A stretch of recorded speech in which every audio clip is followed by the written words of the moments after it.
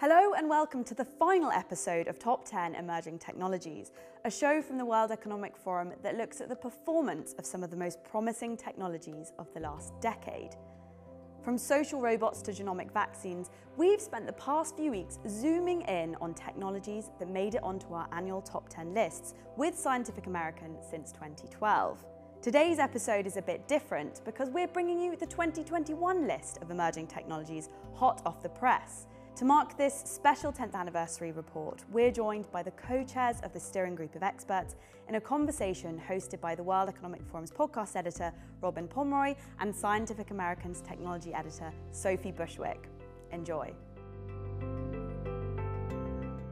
Welcome to this special edition of Radio Davos. I'm Robin Pomeroy, the host of the weekly podcast from the World Economic Forum that looks at the world's biggest problems and how we might solve them. On this episode, technology what are the breakthroughs that could address some of the world's biggest problems in the next few years? I'm joined by Sophie Bushwick, technology editor at Scientific American. Hi, Sophie, how are you? Hi, Robin, I'm good. So, Scientific American, I would imagine all of my audience knows what it is, but could you just remind us what is Scientific American? Scientific American is a magazine and website that's been publishing science and technology news for more than 100 years. Great. And you've been working with the World Economic Forum on this report. The report itself has existed for 10 years. It's called the Top 10 Emerging Technologies. And it's an annual report. This is the 10th one, so a very special one. Um, and we've got two of the people who put that report together. Sophie, could you introduce them to us? The two people who have led a steering committee putting this report together are Mariette DiCristina, journalism professor at Boston University College of Communication, and Bernie Meyerson, Chief Innovation Officer Emeritus at IBM. So you've both been putting this report together for several years. Um, has the COVID pandemic affected it anyway this year, Mariette? Thanks, Rob. Nice to see you, by the way. Um, well, I think the COVID pandemic has affected all of us in lots of ways, but our committee meetings have often been a combination of in person, on video, and sometimes in person, in person. And this year we certainly did it all by video. Thank goodness for technology, hey? And did you notice any theme or themes that emerged this year? So this was our 10th top 10, as, uh, as has been mentioned. And every year, I think um, we've had our successes and our and our maybe less less successful moments. But this year, one of the things that became sort of crystal clear, and, and maybe should be anyway, through our pursuit of the Sustainable Development Goals is that the world's problems are multidisciplinary and multi stakeholder. Yet another reason why it's great the World Economic Forum brings everybody together. And the solutions for the world's key problems are also multidisciplinary and multi stakeholder. And so you see that expressed a lot in this year's top 10, you know, where we have themes around, I'm going to call it um, sort of energy and sustainability, and health information and in the systems that get all those to work nicely together. And those three themes in a multidisciplinary way resonate through the entire package this year. Yeah, I would agree. I think that what you're really finding is particularly in the area as one of the topics decarbonization showed, if you look through the list that we have, there are probably half of them are directly impactful of that one topic it's it's really almost the first time we've said, look, there's this global topic that isn't just one technology, but is a host of technologies that need to come together to solve a really a global crisis. And it is remarkable that we found that as people brought forward their uh, suggestions for the year, because Mary and I do not do this, we have a great team that helps. And the suggestions actually all aligned across one theme to an extraordinary extent. I've actually never seen it that tightly coupled before. So yes, there have been themes that have been sort of brought into focus by current events. So let's start looking, we're going to go through each of the technologies listed in this top 10. It's not like a hit parade of music. It's not like number one is the number one. These are just 10 technologies that you think will have an impact on society in the coming year, in kind of the tangible future. And let's look at the first one that's in the report, and it's about climate change, which is absolutely at the top of the agenda right now with COP26. The technology you talk about is simply decarbonisation. Um, which one of you would like to start on what you mean by that, what you found, Bernie? That is the one I described as being the overarching goal that we had out there. It's not a technology or a single technology. It is a realization that climate change is becoming such an imperative to deal with that you have to look at the disparate technologies that would enable it and then call people out to say, look, some of these are getting there, but not haven't arrived, such as uh, electric vehicles, which, though it's a hugely important topic, and people talk about it incessantly, it's a bit of a joke in terms of the volumes that are currently out on the street. You're talking give or take a couple of percent. That needs to grow dramatically. But similarly, you also have to have power to supply them. So there are challenges there. You have to have ways to segregate out CO2 that is being generated. That's another problem. You have to have ways of, for instance, storing energy in vast quantities, industrial quantities, because we love you know renewable resources. But I would point out the sun does go to bed, eh, give or take, on average, 50% of the time. You probably want something when the photovoltaics are generating, oh yes, nothing, that you can basically produce enough energy to compensate during the evenings through some storage device that's low carbon that actually is very sustainable and on and on and on. So it became this overarching theme. And the first time we pointed to a result that we need that has to then drive all of these other imperatives. It's really remarkable in that we've reached that point, a tipping point in this battle to basically sustain the environment and hand one that is viable to the future. Do you think there are certain technologies which are very exciting, which are, I mean, everyone knows about electric cars, but as you say, it's the where does that power come from? There's the storage of, of energy. Have you been struck, either in the last 12 months or even more than that, by particular technologies that have a lot of potential but that have not yet emerged out of the laboratories? There are certainly um, ones that are encouraging. Um, if you look, there are constant efforts to develop nuclear fusion for the simple reason that, you know, if you can make that work, you're talking about something where you don't have to worry about burying the resultant materials for 10,000 years before you poison the environment. Um, there are that kind, there's that kind of effort. There are some interesting energy storage devices um, we highlighted years back that are now being deployed that are unimaginably simplistic. Uh, if you have a cuckoo clock, if you remember in the old ones, you pull a chain, uplifts a weight, and then when you let go, well, the weight comes down slowly, powers the clock. There are a bunch of guys out there, I think the company's called Energy Vault, where, where they literally lift these huge multi-ton blocks over with excess power, and then they just during the evening let the blocks come back down, run a generator. I mean, there are all sorts of technologies being developed. The problem is they are not at scale. And this is where the challenge comes. We need to get to scale if we're ever going to leverage renewables and we're going to be able to deal with the climate crisis we're currently facing in some rapid manner rather than something over the next decades, which is not a tenable solution. I just wanted to add slightly to what Bernie was saying. I think the key message here around decarbonization is that, as you mentioned, Robin, with COP26 going on and a lot of very aggressive targets, both by policy leaders and also by industry, they will force a series of technologies to be brought to bear at scale. And um, although we didn't touch on it, those will include, you know, in addition to energy and transportation technologies, things like, um, you know, reducing meat consumption and um, and global global governance approaches that'll help us tune the energy needs across the planet. Um, I think that's really ambitious, but we need to be ambitious to face today's challenges with sustainability and climate. The top 10 also include two technologies that could help decarbonize agriculture. Uh, Mariette, could you tell us about self-fertilizing crops? Sure, I'm happy to do that. Thank you, Sophie. Uh, I love this one. So many times, um, I think when when humans are inventing something, they're taking their cues from nature, which has solved it over a billion years, uh, you know, through trial and error, known as evolution. And um, crops that uh, self-fertilize is one such example. Um, one of the things we need to do uh, to create and grow the crops that we need on the planet today is provide lots and lots of fertilizer. It's something on the order of 110 million tons of nitrogen to help fertilize crops around the globe. And this supports maybe 50% of all of the food that we eat across the planet as well. Um, the challenge there is that right now, a lot of the crops um, need all of that fertilizer, but some of them namely legumes, know how to fix nitrogen themselves through nodules that they create that um, involve bacteria interaction with the root nodules to create uh, the ability to fix that nitrogen fertilizer that they need. So, if we could teach other crops that don't do that now to be able to deploy the same kinds of approaches that, that legumes can do, then we could vastly reduce the amount of nitrogen that needs to be created. And then you vastly reduce the energy involved in that and vastly Im- reduce the impact on the environment of over fertilizing.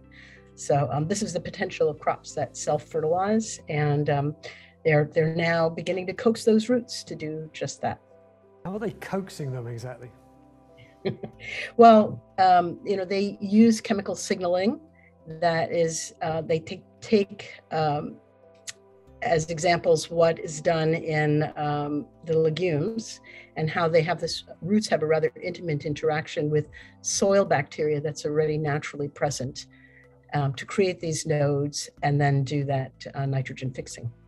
Sticking with agriculture and indeed um, fertilizer, another one of the top 10 list is green ammonia. So, which one of you would like to tell us what that is and how this can help us? So, I mentioned making nitrogen fertilizer, and um, the type of nitrogen that cells can, um, in plants, roots, can absorb is ammonia. And um, this is made now through a process called the Haber Bosch process, which is probably one of the most important processes in industry today that you've never heard of. Um, but it, it is accounts for uh, creating all of this nitrogen in form of ammonia on an industrial scale. And that fuels, as I mentioned, about 50% of our world's uh, food production. If you can create green hydrogen through uh, solar power or other sustainable energy means, you can vastly reduce the amount of uh, carbon that's involved in making that ammonia. And that's why it's called green ammonia. And um, there's one plant being converted to, to do that now, an industrial plant um, to solar, which will save about 400,000 tons of carbon a year. As you recall, when we talked about decarbonization, what is happening is all of this is relying, going back to some of the fundamentals, as she correctly pointed out, you need green energy. This does not work if you have to just burn coal in a coal plant to create hydrogen, obviously. But electrolysis, which requires a huge amount of energy, nonetheless, if you have you know this kind of excess green power that is hopefully being developed, it's it's really a trend where just making green ammonia is incredibly important but similarly, uh, if you look at people who are doing cryptocurrencies and have huge processing needs, they're actually moving those computing capabilities to areas where, again, green power is available to reduce the necessary carbon footprint. So it all plays together. As I said, there's, there's this remarkable theme that you're going to see through all of these that is consistent. So that's three of the top 10 tech of the year, um, all about decarbonisation, two of them about decarbonisation in agriculture, but as Bernie, as you just said, that, that are also linked into other parts of decarbonisation, such as energy. Sophie, we've identified, haven't we, on this list, another thread, uh, medicine or medical technology. Why don't you pick one from the list on that subject? Yes, uh, four of the top 10 are all about medicine. So let's start with a new way to detect disease by sensing it on people's breath more than 100 companies are actually working on, uh, you know, sensors that um, that can detect one of the 800 or so compounds that are produced in, in human breath. There's a strong correlation between some of those compounds and various chronic diseases that many of us suffer from. And the way this detection is done is uh, a, a metal oxide semiconductor can detect the difference in electrical resistance as this gas passes over it. And you know these sorts of detectors are even on an experimental basis able to detect COVID, as a study uh, that was done in Wuhan, China, suggested. And today there is um, you know about 3.8 million dollars has been invested by the U.S. Department of Health for NASA's eNose technology, which works in a similar way. It'll be used to detect you know different gases on the International Space Station, but in theory, these could be applied to broader use for the rest of us as well. It's amazing that you can detect disease on someone's breath. I've read stories about dogs being able to detect, I think we've run stories at the World Economic Forum, being able to detect even cancers. And no one's quite sure how they do it, but perhaps they're detecting scents or something that give away some kind of signal of the disease. Is there a possibility that you'll be able to do breath tests to detect for big diseases like cancers in the future? Quite a few diseases might be detected in that way. Um, you know, cancers could could be one of them. I think this is um, know, this is a technology with a lot of potential. We see the correlations between certain gases in the breath and certain diseases, and so it's it's uh, not rocket science, as my father would have said, but it does will take some you know careful testing to make sure that it is reliable before it's used on a massive scale.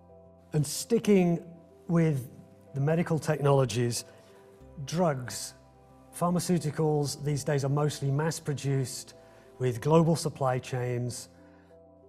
In the report that you've put together, you talk about drugs that can be produced locally and on demand.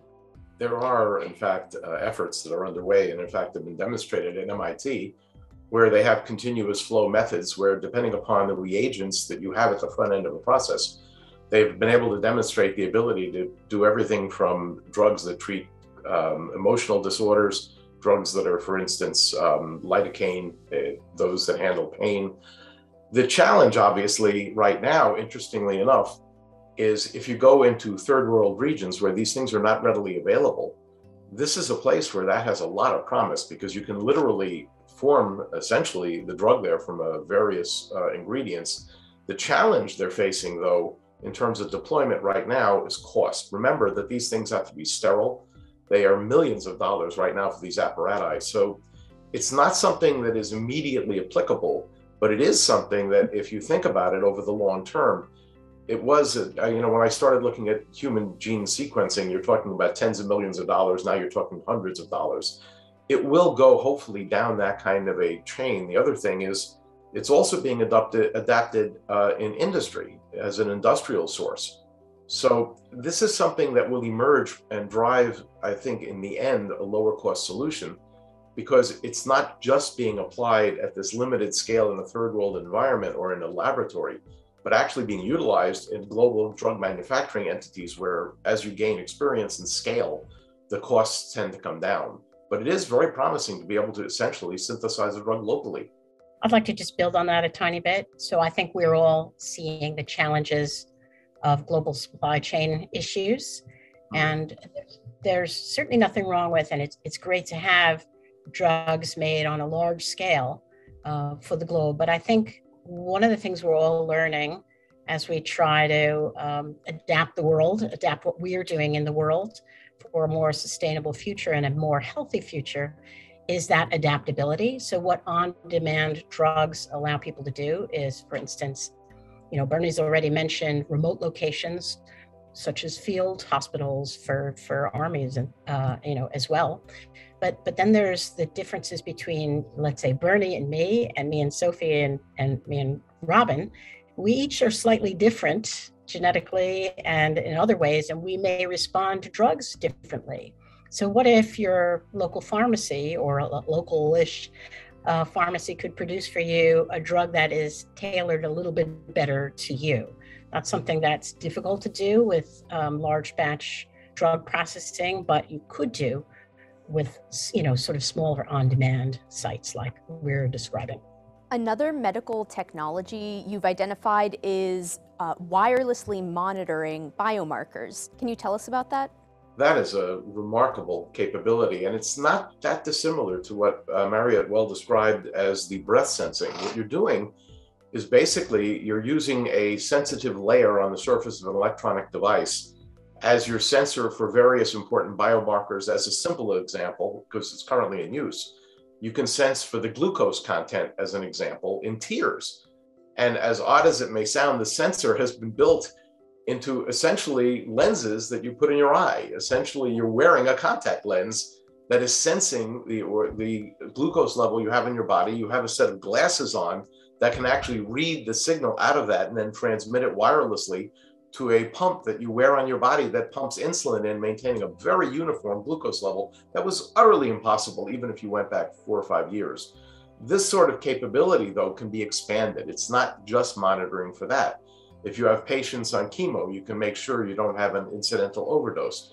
If you have patients on various drug thinner, you know, blood thinners, you can ensure that you don't run to an excess where the bleeding becomes an issue. I mean, there, it's literally a limitless capability, and it's been enabled by two foundational promising technologies. One, of course, is the sensing materials that you put on the surface of a chip that respond to a given chemical. That's one well-known part. But the other part is these remarkably low power capabilities in terms of data transmission.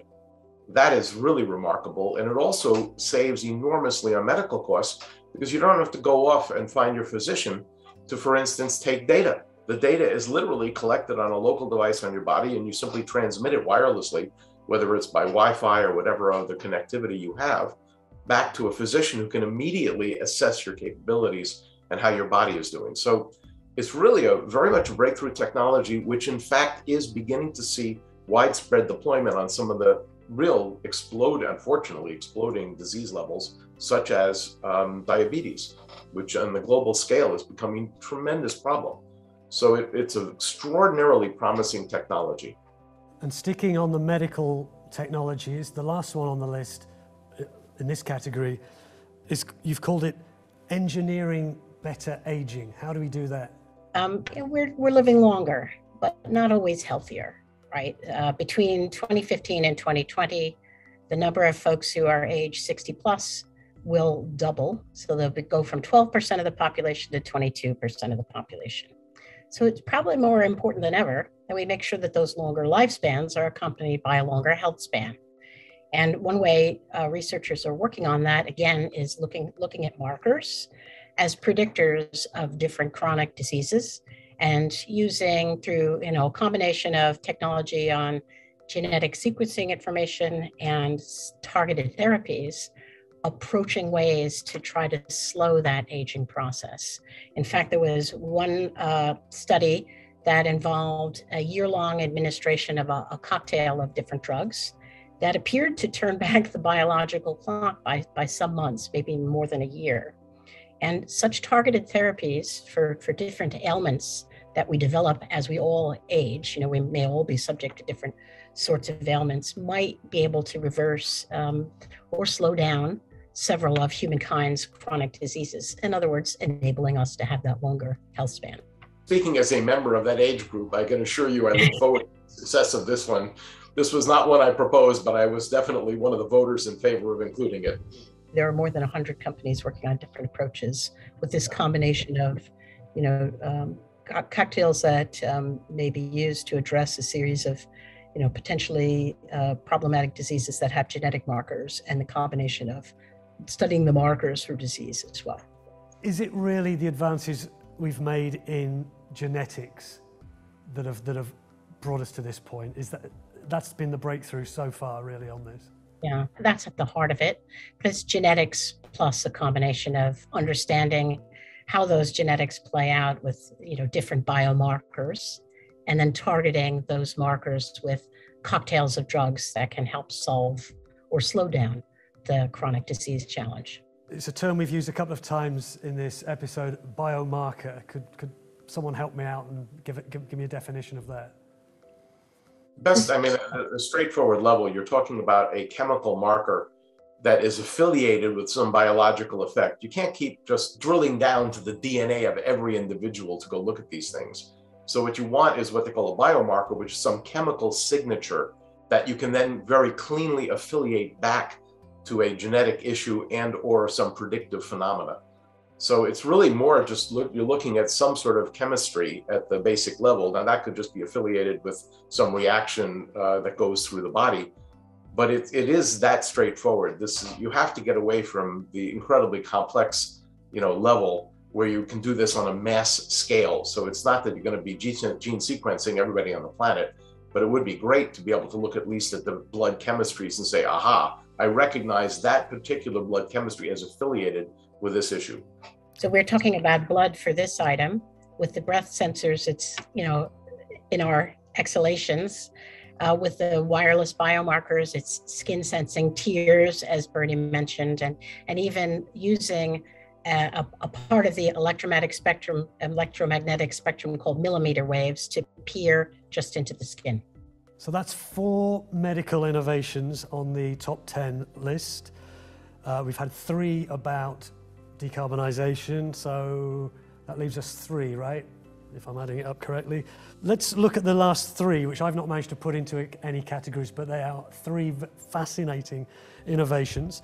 One is it says that in future gadgets, perhaps like the one I'm holding in my hand, you'll tell me, might be able to charge via wireless signals in the air. It's kind of an interesting thing. And it does bring up some ethical questions. Let me explain the challenge. Um, if you go back far enough, there were guys who set up huge antennas, just big TV antennas under high voltage power lines that were AC. And what they would do is they put a diode on it, and lo and behold, they generate electricity by basically sucking it off the overhead power lines and um, running things. That may be a little questionable. Okay, this is a little different than that on a vastly different scale. Um, in the past, there were never technologies that were sufficiently low power that you could literally say, I'm going to have an antenna that will just look at random electrical signals in the air and say, I can get enough power off that to operate steady state without any other power source. The fact that that didn't exist, therefore, limited where you could deploy a sensor because you had to have a power source. The argument is that with the proximity and the generation of 5G, which you're allowed to run at a somewhat higher power density than 4G in the communication spectrum, you can literally build tiny, tiny sensors with given purpose. So you might, for instance, want to build a sensor that just tracks everything from, uh, for instance, CO2 levels in a local environment. You could literally have a sensor where the power was supplied by simply having a capacitor, which acts sort of like a battery, and an antenna that whenever there was adequate signal in the area, it literally charged itself off the random air power that's out there because people use it for communication. Now, the catch is this only works now because you're looking at technologies where the dimensions of transistors have gone from what would be described as football fields down to things that are literally at the level of tens of atoms.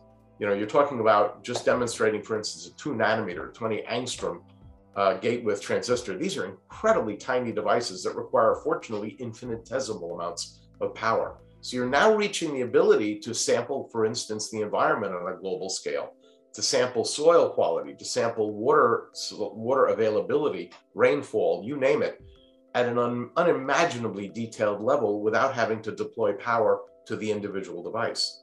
And is that already happening? It is in some in some areas, not broadly. 5G, as you know, is just being deployed now. But yes, in fact, there are. It's very interesting. On the windshield of your car, you have a nice demo of this, but it's a crude form. The sensors, your your little um, E-ZPass in New York, the road uh, toll automatic toll payment system, the way that works is it doesn't have a battery. Actually, when you drive through the um, toll booth, what used to be a toll booth, there's actually a antenna that is simply continuously radiating energy. And what happens is an antenna inside that device absorbs that radiated energy and spits out a signal saying, "Hi, my name is so and so. Pay here's my you know code.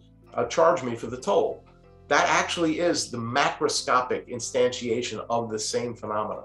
The difference now is it's just being scaled ever smaller and it, you know over time it will become much more pervasive but it's already in use at a macroscopic scale so people call such little gadgets uh, part of the internet of things you know these sort of smarter uh, little low powered as bernie mentioned gadgets that are being spread all over the world um, there should be on the order of 40 billion of them according to estimates by 2025 and as they're getting sprinkled around you know the idea of charging them. And as they're helping us manage the world, helping us manage for more sustainable application of fertilizers, to talk about one of our earlier topics, or to help us manage uh, lower use of, of water or, or power. Um, they need to be charged themselves. And that's why this technology is an enabling technology for a lot of what the rest of uh, this, this section is talking about. And paired with that, we might also talk briefly about the Internet of Things in, in orbit. So uh, all of these systems, in addition to needing power, need to be able to talk.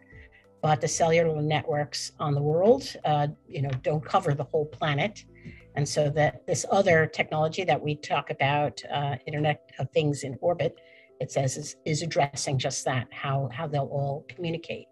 And by using as a platform um, these much less expensive satellites called CubeSats and nanosats, which are very small and which can be you know, sprinkled around uh, in, in, orbit um, and provide that continuous communication for all of these little devices that are using all the, you know, charging that, that Bernie was just talking about. It's a good summary. The way it works, you know, these tiny little devices can't radiate back to orbit directly. That obviously won't work. But what they can do is you only need to have one orbit capable communicator uh, in any given location. These little devices will basically, signals will be accumulated in one of the higher power devices that would then upload it. Similarly, though, those little CubeSats, and she, Mariette made a very important point, there's what we call in the world today the digital divide. The digital divide being literally there are large areas of the world that are not do not have internet accessibility, do not have that capability. And this is really a game changer because with these microsats that you get up there and literally, they've had launches where they drop a hundred of these things in sequence around the world. I mean, these are really remarkably small and light devices. They're kilograms each.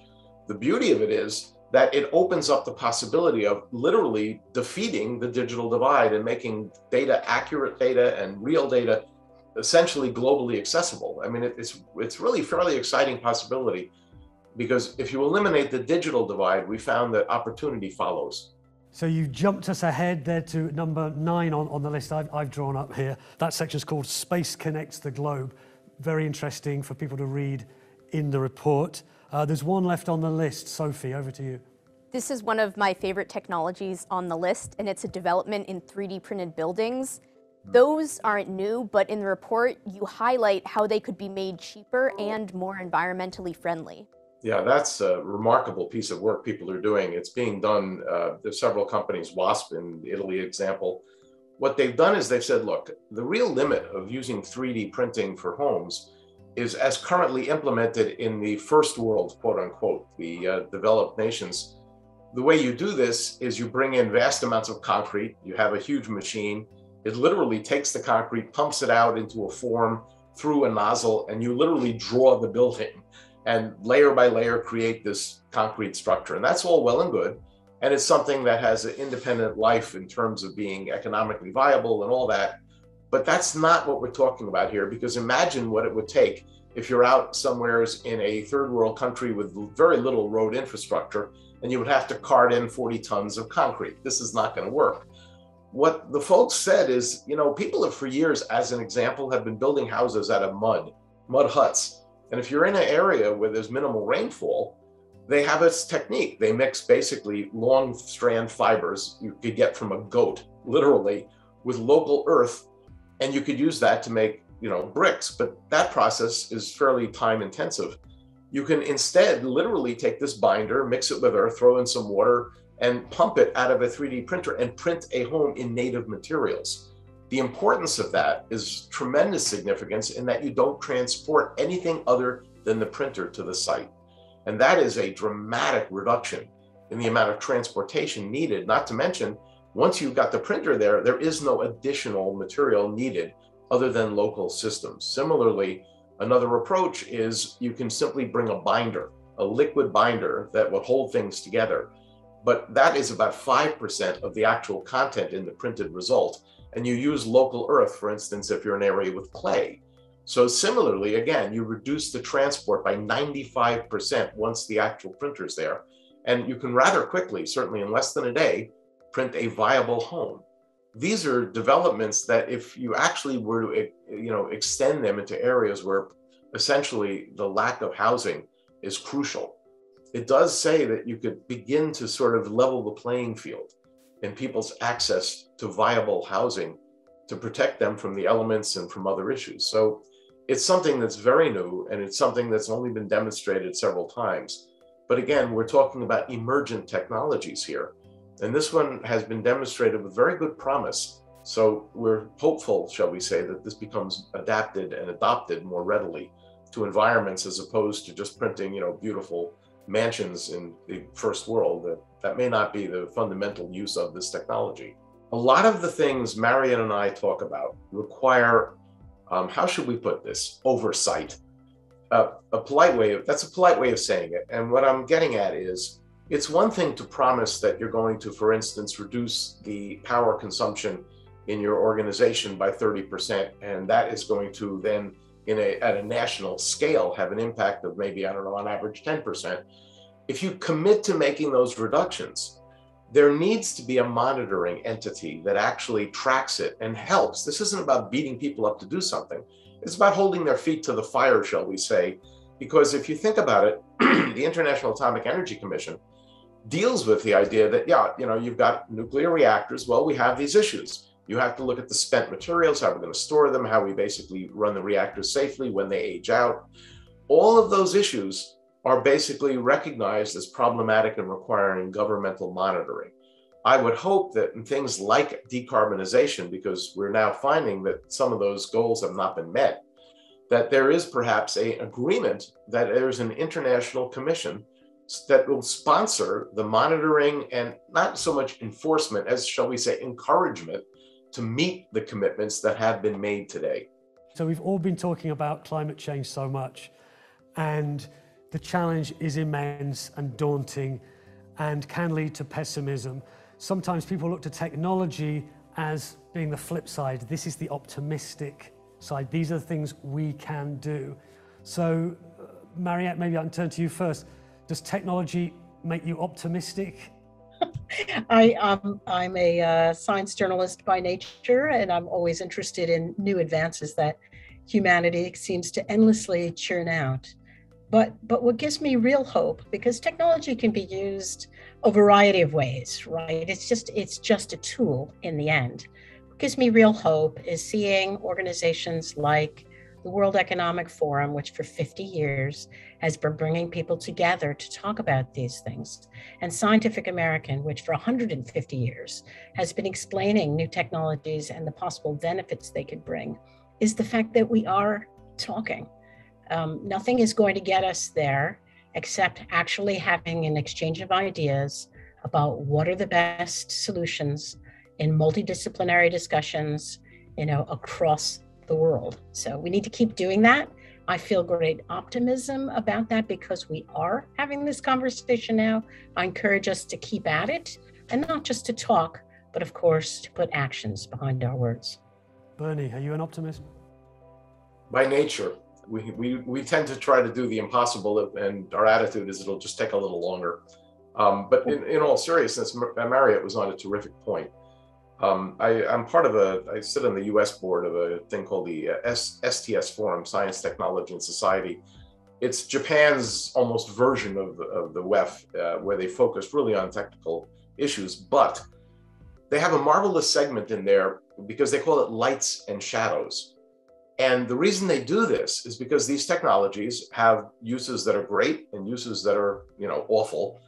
And the fact that we openly talk at the beginning of their emergence about the two issues, lights and shadows, it avoids these ugly surprises later on because everybody recognizes that this technology can be used for good, it can be used for evil, and we damn well better pay attention to both of those issues. So there is a real, you know, that's why I'm optimistic, is people are going into these things now with their eyes wide open. It's not like thalidomide and, you know, wow, this is great. And then there's a, some catastrophic result. People have learned lessons from unfortunate experiences. And the good news is that they're not falling for the old adage, you know, if you don't pay attention to past errors, you're bound to repeat them. The science community has really developed a wonderful sense of accountability. And as a consequence, is really doing their best to avoid any of those issues in the future. The report is called The Top 10 Emerging Technologies of 2021. You can read all about it in Sophie's publication, Scientific American, and on the World Economic Forum's website. Thanks very much to Bernie and to Mariette. Thanks so much for joining us.